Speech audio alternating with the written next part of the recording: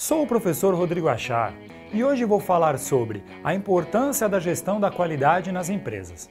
Se você ainda não se inscreveu no canal do Monitor no YouTube, aproveite para se inscrever agora.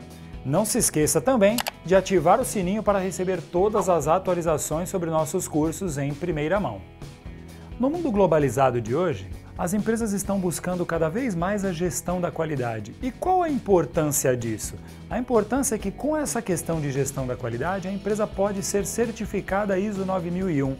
E por que é importante este certificado ISO 9001? Porque a partir disso a empresa começa a ser melhor vista no mercado de trabalho. E, e precisam de profissionais para que essa certificação aconteça. E o que este profissional precisa? Esse profissional precisa conhecer algumas ferramentas, ferramentas como o X-Bar, uma ferramenta muito interessante, uma outra ferramenta chamada de Seis Sigma ou então o gráfico de Pareto. Você conhece essas ferramentas? Então, são essas as ferramentas que farão de você um profissional gabaritado e preparado a ajudar as empresas a implantar o ISO 9001 e poder aí melhorar a sua postura, poder aí melhorar a sua visibilidade no mercado de trabalho.